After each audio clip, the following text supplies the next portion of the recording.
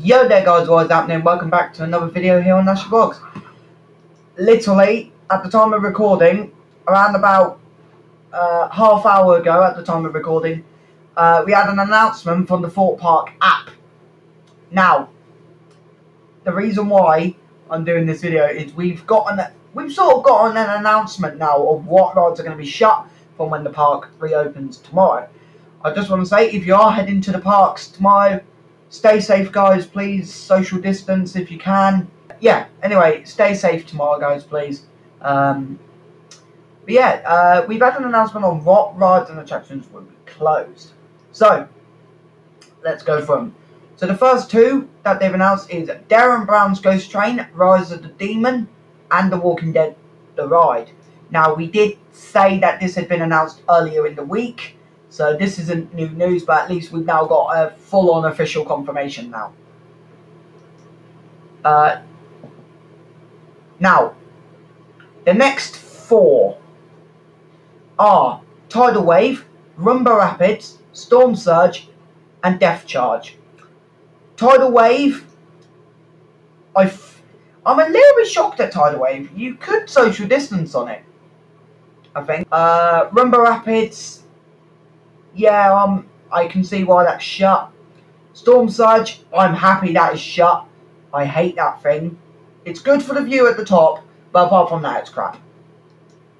And Depth Charge. Depth Charge, it's because you've got a queue on the stairs and it's very narrow, I'm not going to lie. Uh, and then the last three attractions they've announced is, the first one is Angry Birds 4D Cinema this, I'm actually happy they finally announced this. Obviously, when I did uh, a video on Paultons Park, they had announced that their 4D cinema was going to be closed. So at least we know they're going to be shut for a while. No idea how long they're going to be shut for though. But when they announce they'll reopen, I will let you guys know. And then the final two are Lumber Jump and Rush. Lumber Jump I'm not surprised at. You can't really social distance on that thing. It's a little drop tower. Sort of. I'm, I'm sort of on the fence. I'm like, okay, I see why they've done it, but considering that they've got Timber Tugboat open, which is literally right next to it, bit confusing. And then the one I'm really surprised at is Rush. I quite enjoy Rush.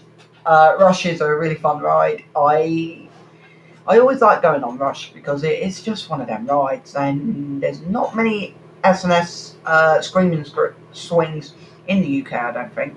And I'm going to be totally honest, I've I was under the impression you can social distance on Rush because you know you've got see you can do the one meter roll, you can keep people apart on it now. Whether they would, I, I don't know, but Either way, guys, that is what's going to be closed. So the rides that are going to be closed, I'll go over them again. Uh, Derren Brown's Ghost Train Rise of the Demon, The Walking Dead The Ride, Tidal Wave, Rumba Rapids, Storm Surge, Depth Charge, Angry Birds 4D, Lumber Jump, and Rush. But it does sort of shock me why Rush is shut, but Vortex is still allowed to go. That's the end of this video. Uh, leave your comments down below about these announcements from Thorpe Park Resort. Let me know what you think. I've been Nasher. This has been another video on Nasher Vlogs. I'll see you um, tomorrow for the next video. Peace out.